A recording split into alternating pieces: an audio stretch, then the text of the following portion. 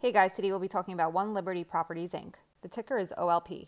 OLP has headquarters in Great Neck, New York and was founded in 1982.